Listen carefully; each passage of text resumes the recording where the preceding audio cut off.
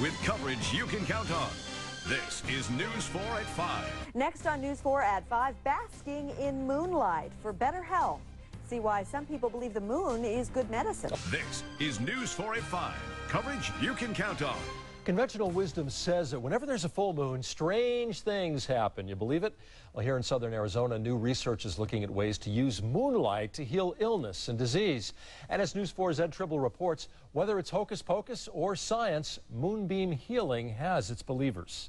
As a full moon lights up the southern Arizona sky, volunteers adjust a reflector more than 50 feet high in place to collect moonlight. It just sounded so new age, so out there.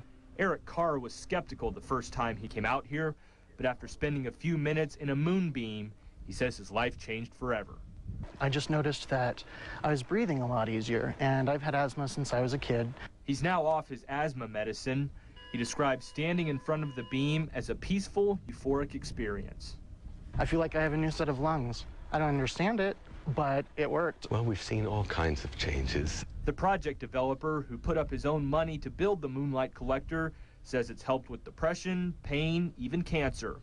He says there's just something about the light. Hopefully, these difference of greater reds and even some yellows, and yet all the colors of the spectrum will activate certain parts of our body and, and make a more healthful difference. What does modern medicine think?